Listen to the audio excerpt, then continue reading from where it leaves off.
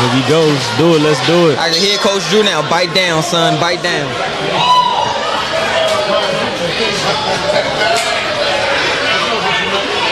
Working in the clinch right here.